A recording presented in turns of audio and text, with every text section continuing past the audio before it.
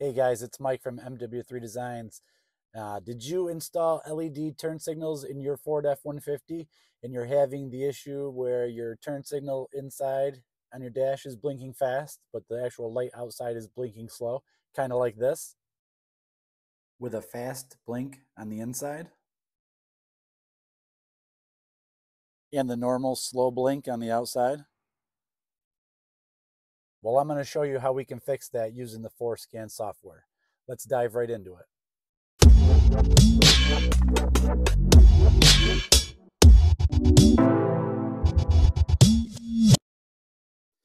All right, so we're going to be using uh, ForScan for Microsoft Windows, and I'm also using the V-Linker FS uh, OBD adapter, which is uh, OBD to USB. So I'm going to go ahead and get this plugged into uh, the OBD port and we'll go ahead and jump into the software. Okay, so I got my OBD connection all set here. We are going to open the ForScan software. Um, and from here, you are going to scroll down to the bottom here and you will see this little icon that is connect to vehicle. Go ahead and click that. Um, gonna get a little message here that's just telling me to make sure my ignition key is on. We're gonna go ahead and say okay to that.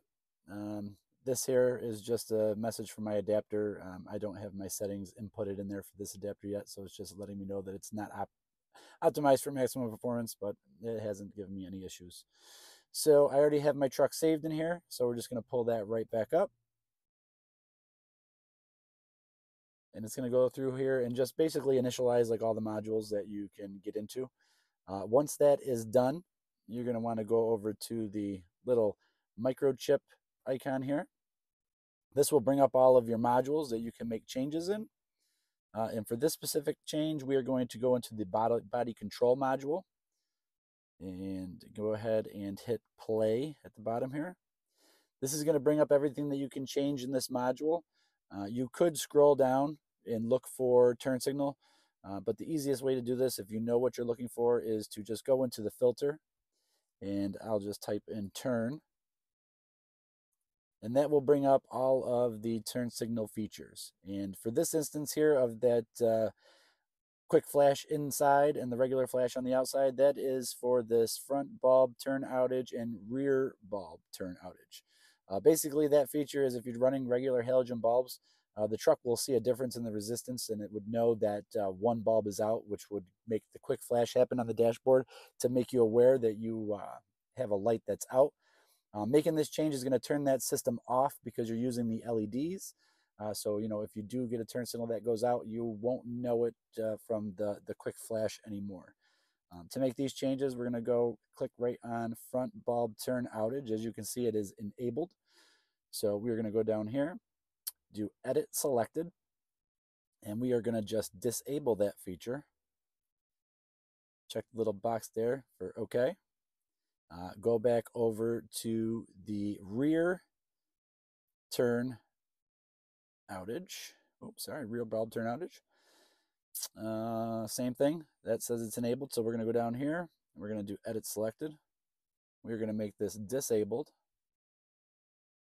Say OK. All write, now before we do anything else, now that we've made those changes, we have to go down here and we have to hit right basically this is going to make the changes in the control module and uh, we'll see what happens. So go ahead and hit write.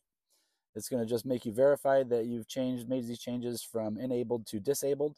I'm going to check this box, hit OK. Then you'll probably hear a little bit of a chime on my dashboard here. All right, lights flashed. I heard a little chime. It's saying that uh, everything has been done to cycle the ignition off and then back on. So we're going to go ahead and we're going to do that. I'm going to click OK. And then I'm just going to hit my turn signal inside. And as you can see, we have the regular flash inside. And let's check and see what we have outside. And we have the normal slow flash on the outside as well. So it looks like that took care of it. Okay, so we're back here in the vehicle.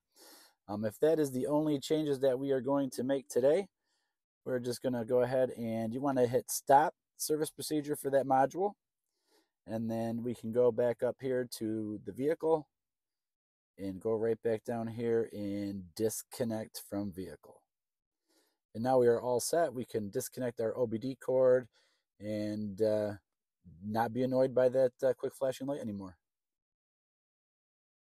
All right, so if anybody else out there has converted their uh, Ford F-150 over to LED turn signals, uh, this will help them take care of that issue with the fast uh, blinking light on the instrument cluster. Uh, again, we use FORScan to turn off that bulb outage notification.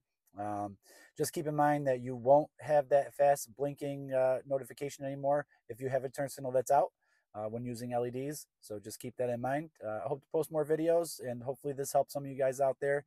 Thank you for watching.